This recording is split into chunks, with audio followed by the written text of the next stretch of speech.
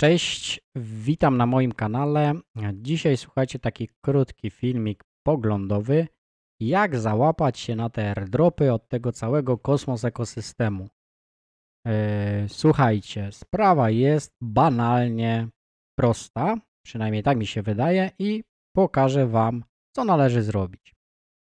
Po pierwsze, musicie sobie zainstalować wtyczkę E, do Google Chrome przeglądarki albo Brave'a, jeżeli macie. Jedną z dwóch. Ja polecam osobiście Brave'a.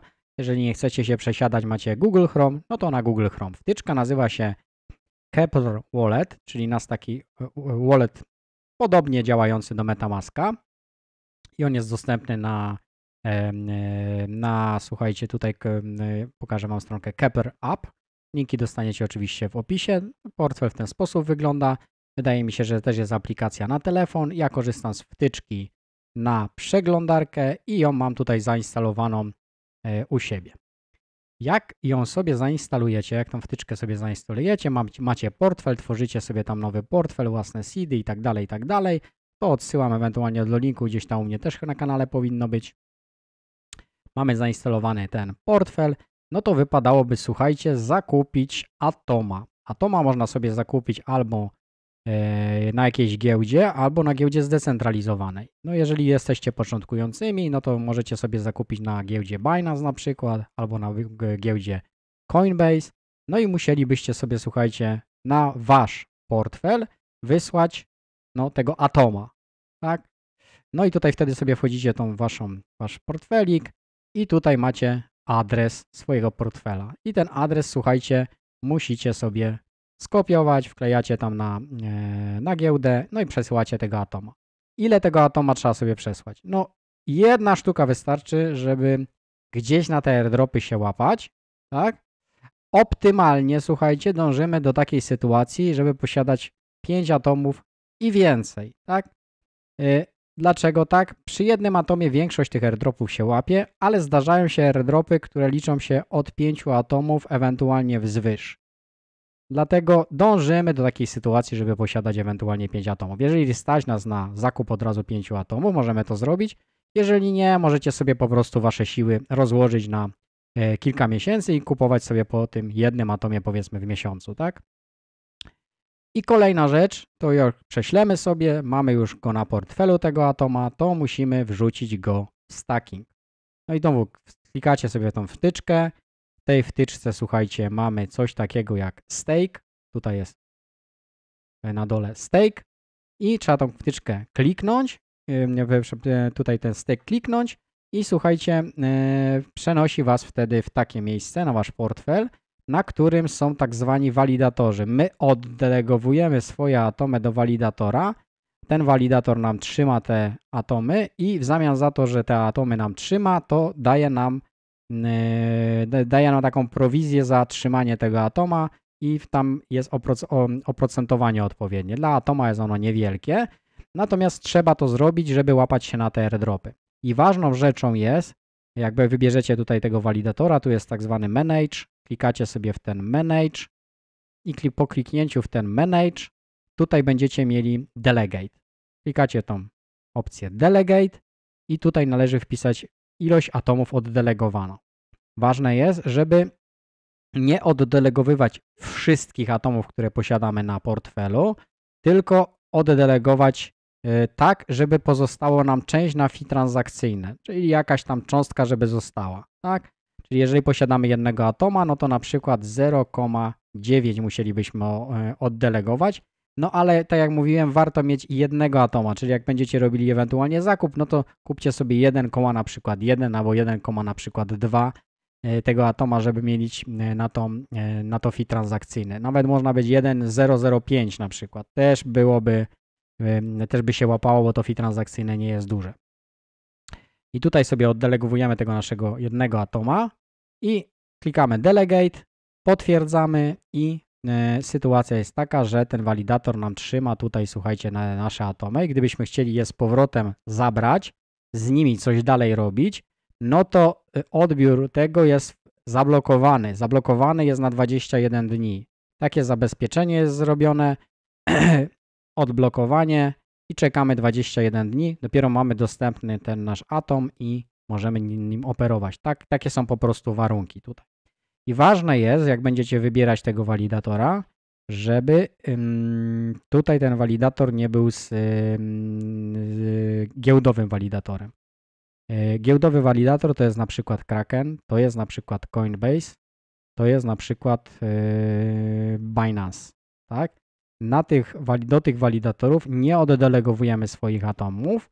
I jeszcze jeden walidator to jest walidator, który ma, zaraz Wam pokażę, tutaj. To jest taki walidator, gdzie ma 0% e, komisji. Co to jest komisja?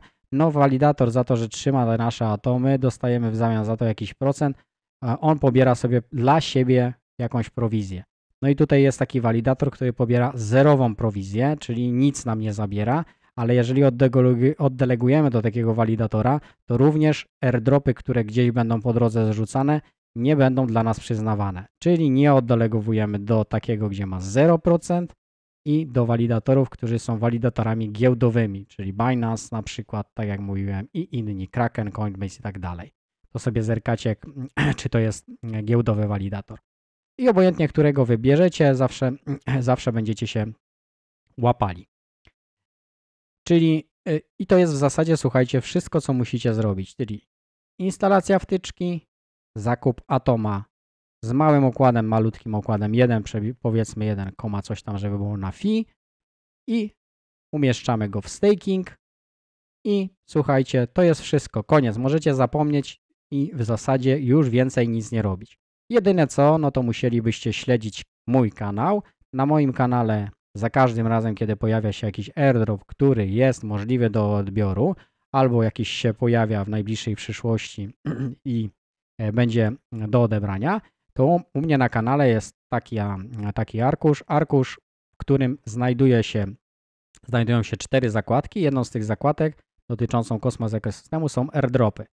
I airdropy są przyznawane dla tych osób, które właśnie tego atoma posiadają i są robione tak zwane migawki, zdjęcia. Zdjęcia tych portfeli, sprawdzają ile na tych portfelach my posiadamy i dzień, w którym zrobią to zdjęcie, tutaj różne widzicie są daty dla określonych airdropów, no dzień w tym, w tym dniu, kiedy robią tę migawkę, na podstawie tej liczby, w którym tym dniu żeśmy posiadali tych, tyle atomów, no to otrzymujemy odpowiednią liczbę tego airdropu, który tutaj gdzieś tam się po drodze nam pojawia. E, I słuchajcie, e, to jest, e, to jest w zasadzie wszystko. No i potem śledzicie, tak jak mówiłem, ten arkusz. Tu macie wtedy informacje, tak, ile tych tokenów będzie, gdzie będzie można odbierać, jakie warunki i tak dalej, i tak dalej. Tutaj jest check, czyli znajduje się informacja, ile będziemy mieli tych fizycznie tego airdropu, a tutaj jest claim, czyli odbiór tego airdropu, który trafia gdzieś do nas później na portfel tak? Czyli podstawowa historia, instalacja wtyczki, kupno atomu i umieszczenie go w stakingu i po prostu czekanie sobie spokojnie, kiedy ten airdrop jakikolwiek gdzieś tam po drodze będzie nam się należał. No i to jest jak gdyby tak zwane basic, czyli podstawowa, podstawowa, e, podstawowa rzecz, jaką powinniśmy wykonać.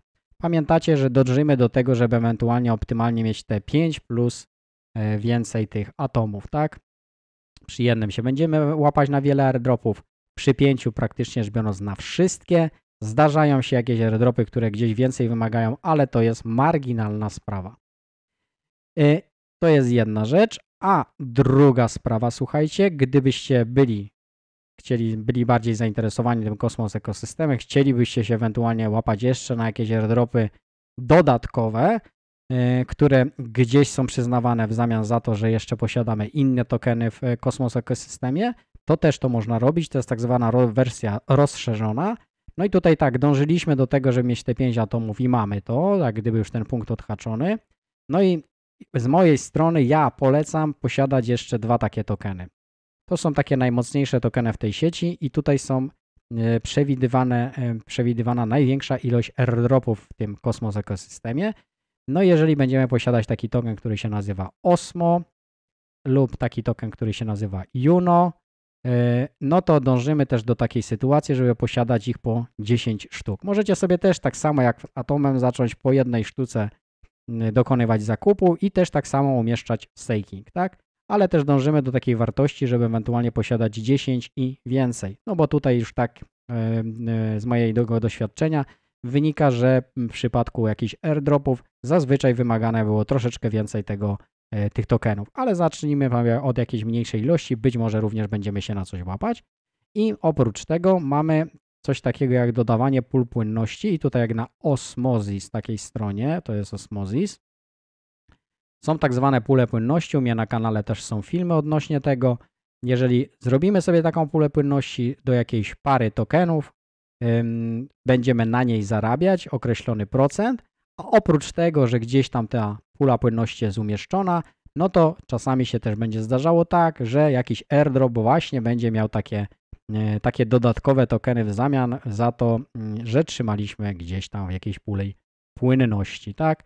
I to możemy sobie, słuchajcie, też od czasu do czasu tworzyć. Nie możemy mm, w większości przypadków przewidzieć, kiedy taka, taki airdrop będzie i za jaką pulę płynności będzie, w jakiej parze i tak dalej, i tak dalej, i ile. Natomiast my tutaj sobie od czasu do czasu, jak rzucimy, coś zarobimy, a może się załapiemy na jakiś airdrop. Jeżeli będzie informacja o tym, że umieszczenie puli płynności, czy trzymanie tokenów, czy jakiś odpowiedni walidator. Ja również u siebie na kanale taką informację wrzucam i daję Wam ją wcześniej i też można się ewentualnie, jeżeli jest taka możliwość, przygotować do jakiegoś airdropa. Ale wyjściową historią dla nas tutaj jest, słuchajcie, zakup jednego atoma, trzymanie go w stakingu i po prostu sobie czekanie, jak jakiś airdrop nam się pojawi. No i pamiętajcie, że im więcej atomów posiadamy, tym wiadomo te airdropy, które będziemy otrzymywać, no będą również większe, tak? Natomiast w większości, tak jak mówię, przypadków ten jeden atom nam spokojnie wystarczy, tak? E, słuchajcie, na koniec yy, prośba do Was o subskrypcję mojego kanału, bo to pozwala mi się rozwijać i daje motywację do pracy.